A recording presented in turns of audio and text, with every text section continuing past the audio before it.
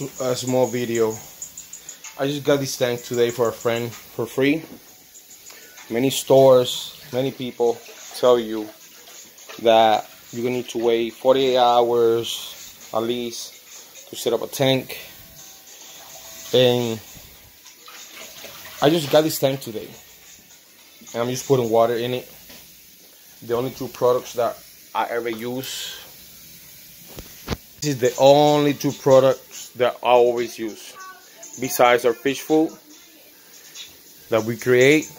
Aquarium song Stress Coat. That's it. Hello guys, PR Aquatic Stop here. I just set up this tank. Okay. We few fish so they can create a little bit of bacteria. Um, good bacteria in the tank. And I set up this tank in less than 5 hours. Now I will give you guys another video, an update um, on how this tank is to look with the plants. Um, and few other things that I want to do in this tank. But I want to show you guys that you can set up a tank in a few hours if you know what you're doing. Um, normally, yeah, 48 hours is the best time frame that you can wait to cycle a tank for those that don't know what they're doing. I've been doing this for over what 13 years, 14 years.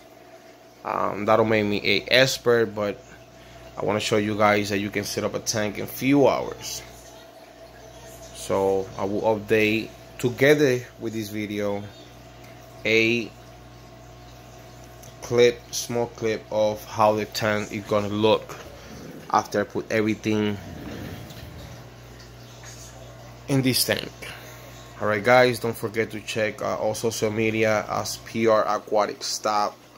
Just check uh, also our fish food for herbivore and omnivore fish flakes and pellets. See you in the next video guys